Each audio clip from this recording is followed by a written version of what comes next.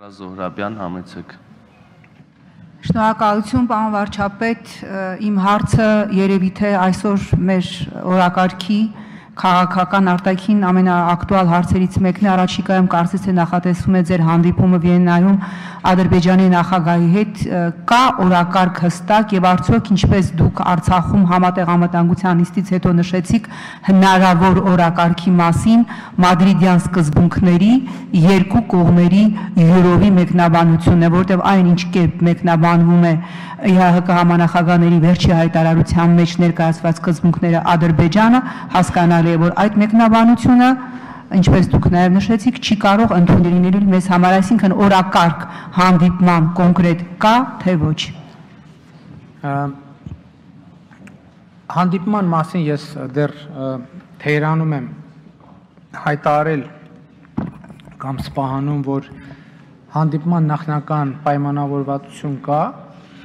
եւ եւ մենք համաձայնությունը տվել ենք հանդիպման, ուղղակի քանի դեռ ԵԱԿ Մինսկի խմբի համանախագահները պաշտոնապես չեն հայտարարել հանդիպման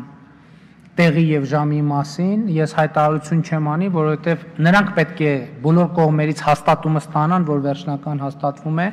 անկեղծ ասած հիմա նախատեսվում է մոտավորապես այս ժամերին պիտի པարս լինի հանդիպումը տեղի ունենում թե ոչ, մենք մեր համաձայնությունը տվել ենք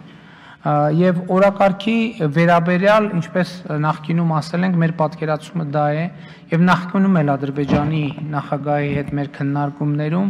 ես ասել եմ իմ դիրքորոշումը, որ կարծում եմ, որ սկզնական փուլում առնվազն այդ հանդիպումները կոնկրետ օրակարգ պետքա չունենան պետքա լինի հարցերի լայն շրջանակ եւ այն ինչ որ մեզ հետաքրքրում է, մենք ուղղակի պետքա մտքեր փոխանակենք տարբեր հարցերի վերաբերյալ։ Ընդհանուր առմամբ կարող եմ կանխատեսել, որ քննարկումները քննարկումները կլինեն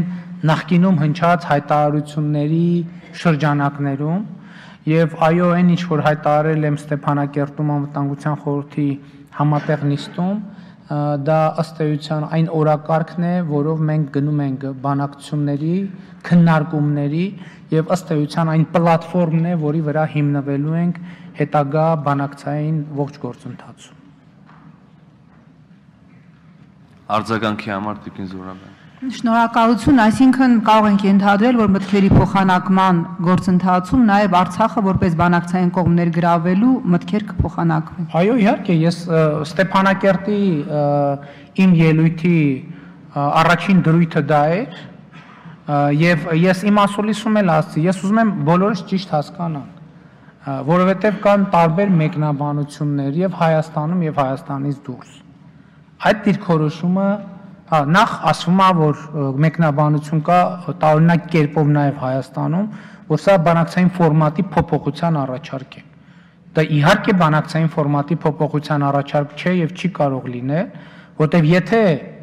բանակցային ֆորմատը միանշանակ ԵԱՀԿ Մինսկի խումբն է եւ ԵԱՀԿ Մինսկի խմբի համանախագահությունը,